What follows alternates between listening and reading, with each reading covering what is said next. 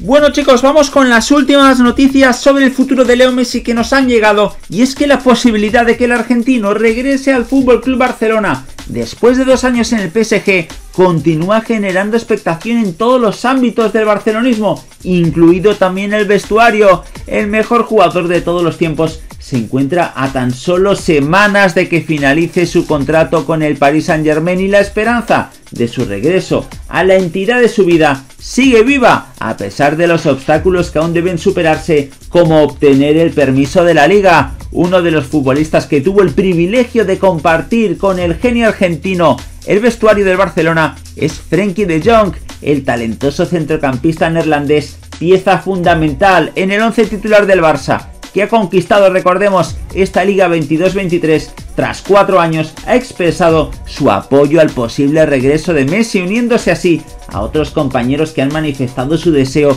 de ver al astro argentino de vuelta en el Camp Nou. En una entrevista concedida al programa Botball Café de canal televisivo neerlandés Tix Sports, De Jong dejó clara su postura respecto al regreso de Messi con entusiasmo y admiración. El joven jugador elogió al argentino y expresó su deseo de volver a compartir cancha con él. Estas fueron las palabras del holandés. Messi es un jugador fantástico y sería increíble si regresa, pero a la vez comentó, pero no sé si va a suceder. Hablando así, en la misma línea que emplea el club. Pero la opción del Barça tiene una competencia muy dura y es la de Arabia Saudí y es que desde el fútbol saudí quieren llevarse a Leo Messi con una oferta multimillonaria de uno de los equipos principales de la liga, el Al Hilal. Y es que esta oferta se basa en tres claves. La primera y más importante, por supuesto, la propuesta económica y es que es una oferta que según varios informes sería de 600 millones de euros por dos temporadas,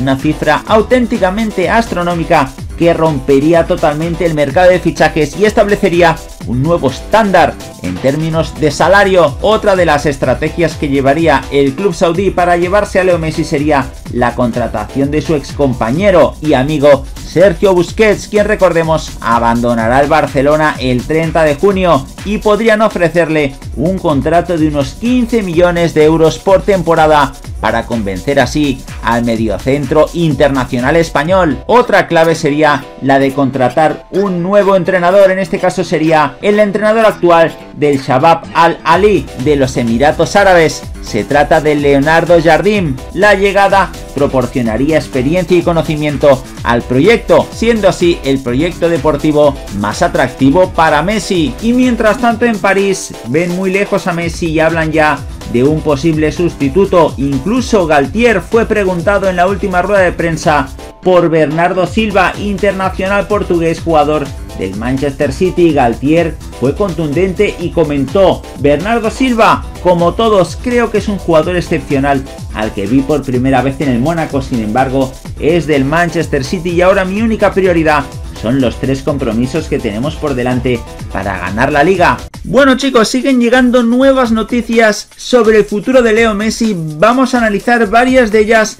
La primera llega un nuevo mensaje desde Barcelona para la pulga de un ex compañero suyo. Recordemos que semanas y meses atrás muchos jugadores del Barcelona, muchos ex compañeros de Messi en el club ya dijeron claramente que querían a Messi de vuelta en Barcelona. Pues bien, uno de ellos, Ronald Araujo, ha querido insistir en ello y ha dejado un mensaje muy claro al respecto comentando lo siguiente, generalmente no lo hablamos, pero Messi siempre es bienvenido y más acá en el Barcelona. Pero para que se concrete la llegada de Messi, el club necesita cumplir cuatro metas. La primera de ellas es el plan de viabilidad. Y es que a pesar de que está llevando más tiempo de la cuenta, el hecho de que la liga lo acepte, el Barça confía en que la patronal acabe aceptando, dando el ok al proyecto y así la llegada de Messi se podría acercar. Luego hay que vender jugadores. Para que el plan de viabilidad se produzca, será necesario que el Barça pueda vender Rafinha, Ferran Torres, Franquesie o Ansu además de rebajas salariales como la de Jordi Alba, serían algunas de las cuestiones, algunas de las soluciones que podría aportar el Barcelona en este sentido. Luego hay una reunión pendiente entre Messi y Laporta para limar asperezas. El presidente del Barça hace unos días ya comentó que había vuelto a haber comunicación entre ellos y que las conversaciones para que se produzca su vuelta al Camp Nou comenzaron de buena manera. La intención era, como decimos, limar asperezas y que Messi pueda aceptar la oferta del Barcelona. Y para acabar, está Arabia Saudí, que está a la espera. El fútbol árabe no puede competir con el fútbol español a nivel deportivo, pero la oferta económica podría ser astronómica. A favor del Barça está el hecho de que Messi quiere seguir al más alto nivel hasta la Copa América 2024, pero Messi quiere un proyecto deportivo que esté a la altura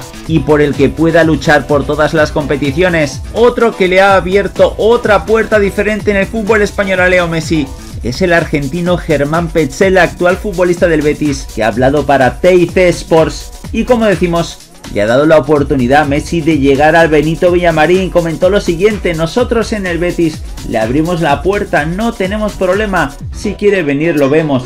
Para España también sería importante por todo lo que genera, no es ponerse el cassette, que sea feliz, así lo dijo el defensa que siguió en la misma línea comentando lo siguiente, porque cuando lo es, juega al fútbol, le alegra la vida a un montón de personas y hace lo que hizo toda su vida dentro de una cancha. Como argentinos agradecemos tenerlo de nuestro lado y verlo jugar como compañero te sigue sorprendiendo día a día. Bueno chicos, vamos con tres noticias de Leo Messi, las dos primeras sobre su futuro de cara a la próxima temporada y la primera de ellas en concreto, las declaraciones de Jaume Roures, recordemos que es presidente de Media Pro y empresario del sector audiovisual que ha hablado sobre el posible fichaje de Leo Messi, en este caso por el Al Hilal e incluso las opciones que tiene el Barcelona respecto a la posibilidad que tiene el argentino encima de la mesa para recalar en Arabia Saudí ha comentado lo siguiente, creo que es posible que vuelva, Pese a que los saudíes han subido la apuesta a más de 500 millones por un año,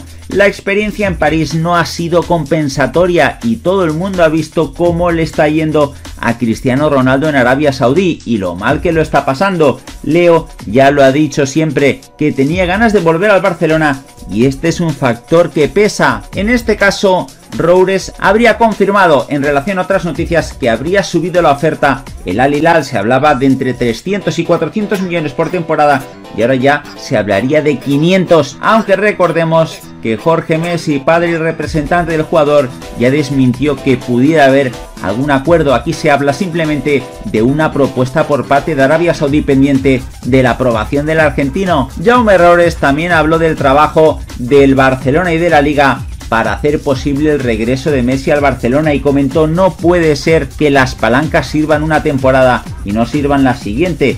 ¿Qué hubiera pasado si el Barça no hubiera hecho 600 millones y hubiera hecho 1200? En medio del partido no puedes cambiar las normas se están poniendo todos los medios para que así sea. Y sobre la posible vuelta de Messi puntualizó que no debería alargarse mucho en el tiempo, comentó cualquier día de estos debe materializarse si es un sí, un no o si habrá que cambiar cosas. En mayo, creo que sí, que tendrá que decidirse este mes de mayo, así lo aseguró Roures.